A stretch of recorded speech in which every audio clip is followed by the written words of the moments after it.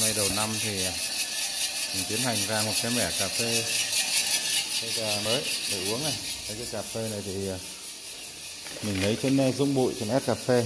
Đây là Ethi Ethiopia. Đó. Mình có lấy hai loại.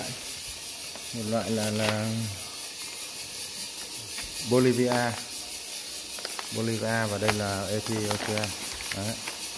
thì bây giờ mình tiến hành rang để uống thử xem nào. Rang 100 thôi. Rang 100 trăm. Ít để. Đấy, thôi. Thử trăm nó không có vừa với mẹ. Vừa chứ. Xem nó thế nào chứ. 200 nó nhiều quá. Không hai trăm thì anh đang nói trăm trăm hai. Là được rồi. ừ. không sao đâu. Đấy. có 500 mà rang uh, 200 nó nhiều lắm Thì trăm hai, trăm ba, Đây, đây tùy đây, hạt cái này rất là đẹp. Đó. Người mới mới cho vào thôi.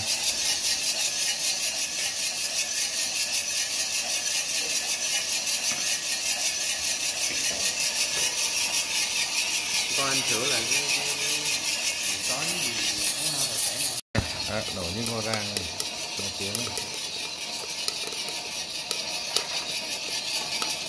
rất là giòn. Rồi,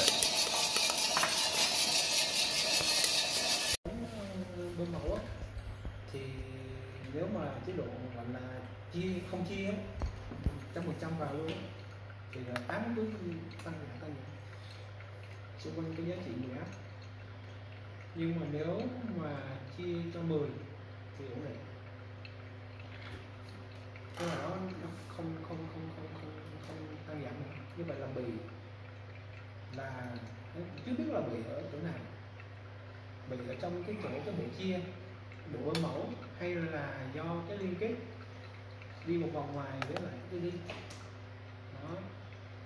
Thì hiện nay thì là, là, là hệ thống thì rõ ràng là cái cái chỗ cái bộ mẫu nó có một cái cái đường liên kết xin khi đi.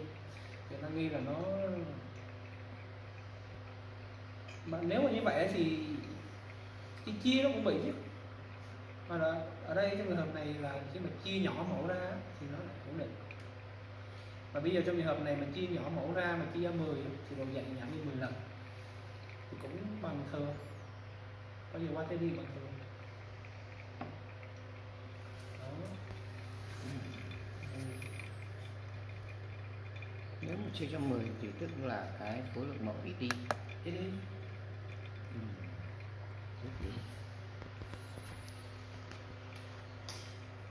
đáng lẽ toàn bộ nó làm thì nó cung cấp thì, thì, thì, thì, thì, thì, thì, thì,